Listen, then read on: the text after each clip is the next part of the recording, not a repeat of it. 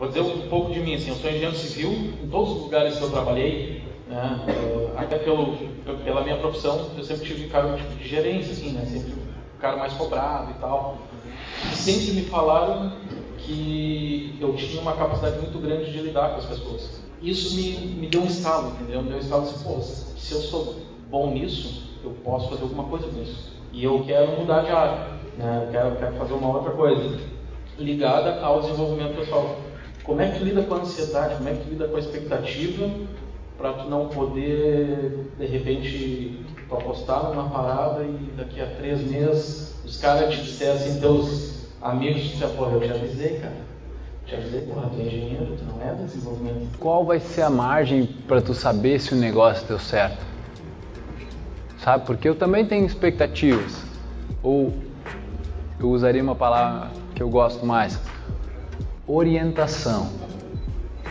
Então, ao invés de criar uma expectativa que na palavra implica que tu está esperando que algo aconteça do jeito que tu quer, do jeito que tu quer, ou imagina, tu te orienta, porque lembra, tudo que tu está criando de expectativa é só o que tu já viveu e o novo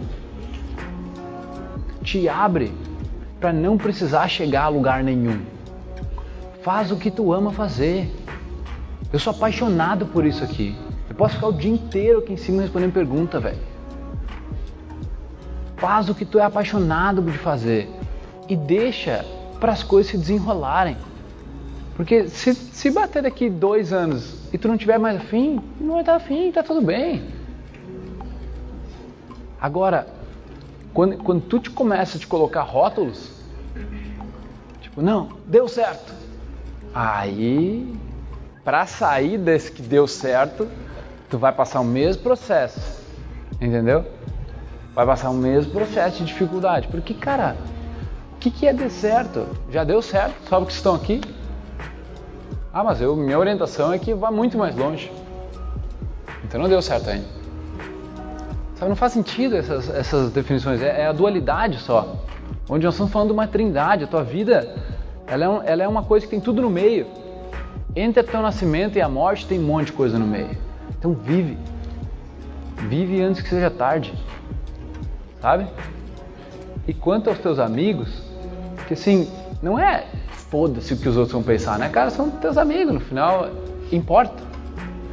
Mas é onde eu gostei uma, uma vez o, o Gary Vee falou um negócio que ele falou assim: tô lançando um tênis meu.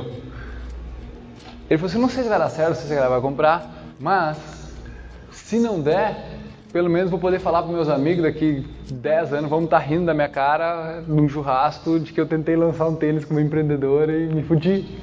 Tu mesmo faz piada contigo. Agora tu chuta, agora tu, tu, tu chuta a moita ali, sai coach, sai eu junto. É, todo mundo fala, agora todo mundo pode. Ah, todo mundo é coach. Mas é, é só. Isso é, é, um preconceito bobo, meu. É que nem uma época, advogado. Ah, tá, chuta uma moita e sai advogado. Dependendo da cidade, por exemplo, tem cidade tem muito advogado. Dependendo da cidade, ah, ela é de advogado. O outro é. Tipo, vai pra Brasília, chuta um arbusto,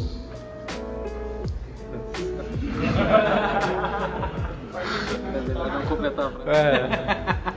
Mas tá entendendo?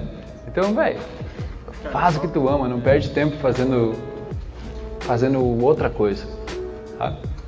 Te apaixona por trabalhar 15 horas por dia. Você falou da dualidade, sabe? É a real, velho. A gente vive em dois impulsos, geralmente. Rejeição ou atração. É a dualidade, entendeu? A gente vive pra isso. A gente quer prazer e quer afastar a dor. Só que a gente consegue ser um pouco mais que isso. Eu vou dizer, irmão, quando eu fiz uma nova de AutoCAD no comecinho, vazou um vídeo meu com meus amigos de Floripa. E a galera não sabia direito. Era no Boa Base ainda. Era uma coisa assim, eu não estava preparado muito bem também. Acho que talvez uma exceção natural no vídeo. Era um vídeo só pro fórum. Cara, em questão de meia hora, velho, alguém me avisou. Cheguei lá no Face, cara, porque gente rir da minha cara. Falei, pô, minha intenção era das melhores.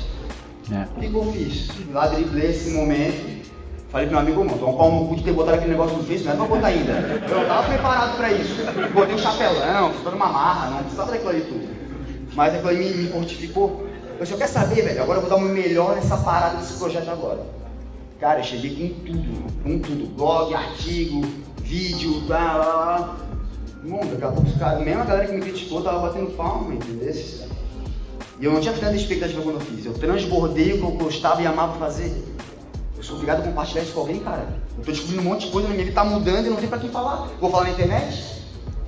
Talvez É, comece alguém vai querer ver. É, tu pode ter a pretensão de fazer disso um negócio, lógico, ainda mais hoje em dia.